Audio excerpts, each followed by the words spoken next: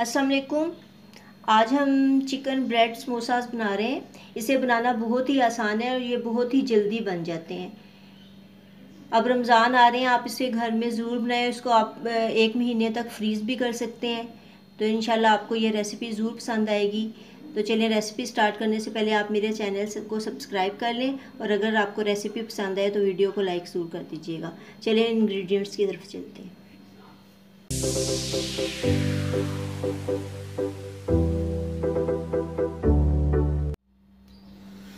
Chicken samosa bread बनाने के लिए मैंने यहाँ 250 ग्राम के बराबर कीमा लिया है। ये चिकन का कीमा है और ये मसाले हैं। इसमें ये रेड चिली फ्लेक्स हैं। इसमें जाएँगे half teaspoon one teaspoon salt जाएगा और वन टी स्पून इसमें ब्लैक पेपर जाएगा और ये ज़ीरा है। ये जाएगा तकरीबन एक टीस्पून के बराबर। और ये तीन टेबल स्पून के बराबर दही है जो इसमें मैं डालूँगी और अब हम इसे सब चीज़ें डाल के दस मिनट के लिए मैरिनेशन के लिए छोड़ देंगे। ये सारे मसाले मैं इसमें डाल दूँगी। ये दही भी इसमें चला जाएगा। इसे मिक्स कर देंगे अच्छे से। मिक्स करने के बाद हम इसे तकरीबन 10 मिनट के लिए छोड़ देंगे। 10 मिनट के बाद हम इसको फिर कुक करेंगे। ये सारा कुछ मैंने इसमें अच्छे से मिक्स कर दिया अब मैं इसको ढक के रख दूँगी। दस मिनट हो चुके हैं। ये देखें, कीमा जो है मैरिनेट हो चुके हैं। मैंने एक पैन में वन टेबल स्पून के बराबर ऑयल लिए इसे हम अच्छे से पैन में ऐसे फैला देंगे। गरम हो चुके हैं। अब मैं इसमें ये कीमा ऐड करूँगी।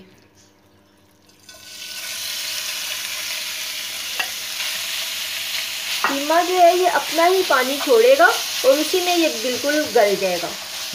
इसमें आपको और पानी ऐड करने की बिल्कुल भी ज़रूरत नहीं है। तो बस ऐसे थोड़ा सा चम्मच हिलाएँ और इसकी, अब मैं इसकी जो फ्ले, फ्लेम है बिल्कुल लो कर रही हूँ और इसको मैं ढक ढक रही हूँ। और इसको ये कीमा अपना पानी छोड़ देगा, उसके बाद इसका पानी खुश्क होने तक इसे हम कुक करेंगे। ये देखें, कीमे ने अपना पानी छोड़ दिया है। अब बीच बीच में से हम इसे हिलाते रहेंगे इस तरीके से, ताकि ये अच्छी तरह से सब तरफ़ से बिल्कुल गल जाए और कुक हो जाए।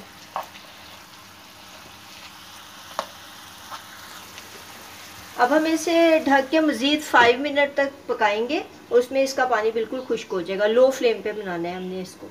पाँच मिनट हो चुके हैं। ये देखें, इसका पानी बिल्कुल खुश्क हो चुका है। ये देखें, बिल्कुल पानी ड्राई हो चुका है इसका। अब ये मैंने वन टेबल स्पून के बराबर ग्रीन ऑनियन लिया है, ये मैं इसमें ऐड कर दूँगी। मिक्स कर देंगे। बस अब ये डन हो चुका है, मैं फ्लेम को बंद कर रही हूँ और अब इसे ठंडा होने के लिए मैं रख देती हूँ। मैनीज इसमें डाल देंगे। और इसे अच्छे से इसमें चिकन में मिक्स कर देंगे। ये तीन टेबलस्पून के बराबर मैंने माइनस ली है। ये देखिए मायनीज बिल्कुल इसमें मिक्स हो गया। अब हम अपने समोसे को शेप देते हैं।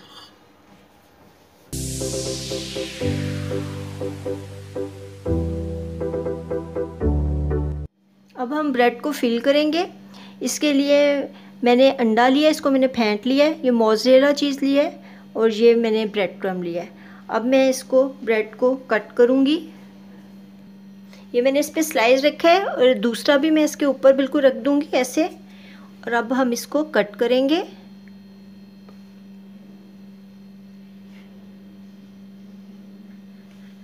ऐसे। और अब यहाँ सेंटर से लेके इसको दूसरी साइड से भी कट कर देंगे।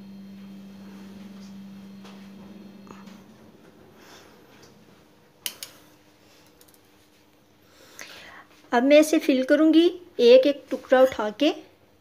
इसमें मैं थोड़ा थोड़ा सा ये चिकन का बैटर डालूँगी इसमें। अब इसके ऊपर हम कुछ चीज़ ऐड करेंगे और इसे इस तरीके से इसके ऊपर रख दूँगी। इस तरह अब दूसरा भी हम इसी तरीके से करेंगे। इसे थोड़ा सा प्रेस कर दें ऐसे। अब दूसरे को भी मैं इसी तरीके से करूँगी।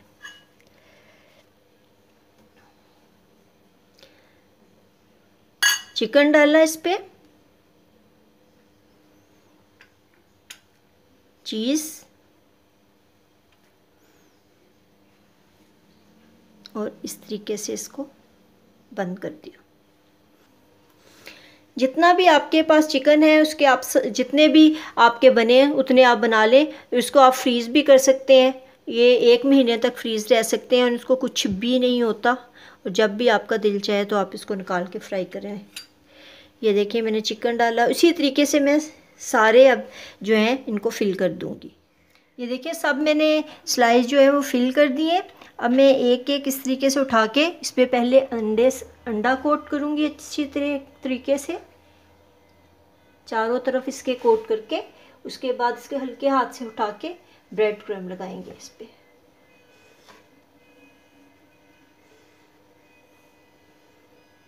इस तरीके से हम सबके ऊपर ब्रेड क्रम और अंडा लगा के रखते जाएँगे। अब इसी तरीके से दूसरा भी स्लाइस उठाया।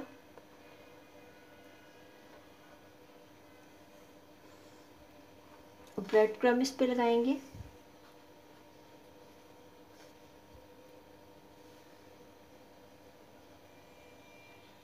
इस तरीके से मैं सारे स्लाइस को अंडा और ब्रेड क्रम लगा के कोट कर लूँगी।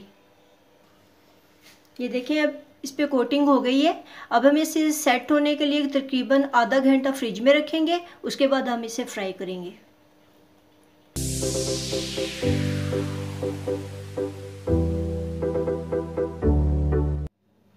ये देखिए थर्टी मिनट हो गए हैं, इसे हमने फ्रिज में रखा था।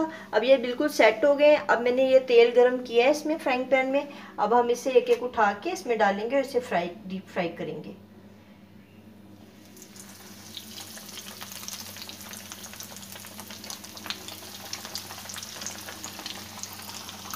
एक दफ़ा में बहुत ज़्यादा ना डालें। बस मैं पाँच डाल रही हूँ एक दफ़ा में। पहले इसको फ्राई करेंगे, फिर बाकी डालेंगे इसमें। इसको दोनों साइड से हमने बहुत अच्छा सा कलर देना है गोल्डन ब्राउन सा। पहले हम एक साइड से इसे फ्राई करेंगे, फिर इसे टर्न करके दूसरी साइड से करेंगे। ये देखिए, अब इसको टर्न कर रही हूँ मैं। दूसरी साइड पे से भी अब इसे फ्राई करेंगे। कि कितना अच्छा इस पर कलर आ गया एक साइड पे। मैंने साथ को टर्न कर दिया, अब दूसरी से इसको बहुत देर तक फ्राई नहीं करना, बस एक मिनट एक साइड से और एक मिनट दूसरी साइड से, बस इतनी देर में ही ये फ्राई हो जाते हैं। बस हो चुके हैं, अब मैं सिर्फ़ पेपर पे निकाल रही हूँ टॉवल पेपर पे निकाल रही हूँ ताकि इसका सारा एक्सेस ऑयल जो है वो निकल जाए। अब बाकी भी मैं इसमें डाल दूँगी।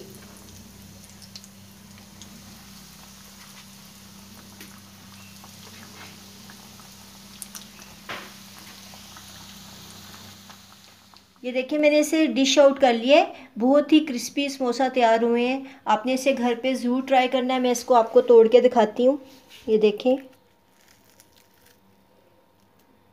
ये देखें कितना अच्छा इसमें चीज़ भी नज़र आ रहा है। अंदर से चिकन भी नज़र आ रहा है। ये देखें तो आपको अगर ये मेरी रेसिपी पसंद आई है तो आप मेरी वीडियो को लाइक ज़रूर कर दीजिएगा। अब मुझे इजाज़त दें। अल्लाह हाफिज़।